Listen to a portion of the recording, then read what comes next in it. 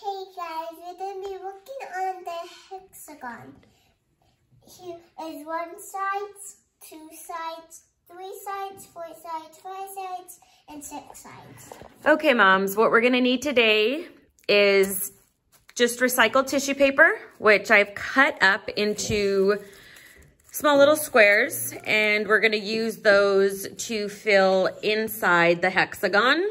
And you're gonna need some glue, and we like to use these little cups. Next, we're gonna place some glue into a cup.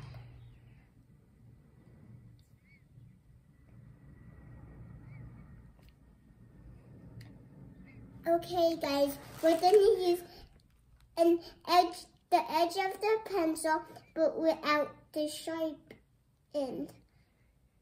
And we, need some, some tissue paper cut into squares, and gonna wrap it around the pencil and dip it in the glue. Wrap it around, dip it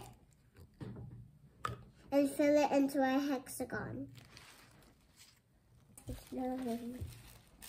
There, I got to, uh, thought there was three, but there was two.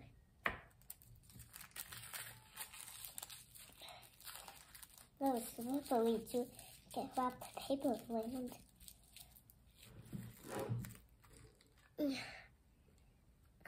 On stick careful, careful. Oh, it's still on. There we go. No, not yet.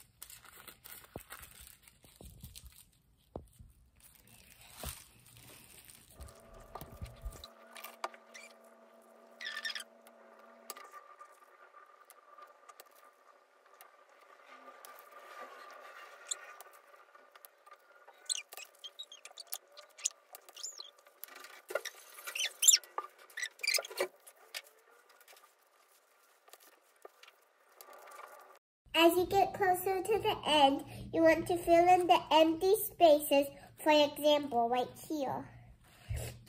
And when you when you finish, we need to let leave it this on the table so it can dry.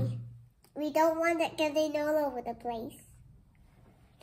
Okay guys, this is our finished project for the day. And subscribe to my channel. Bye.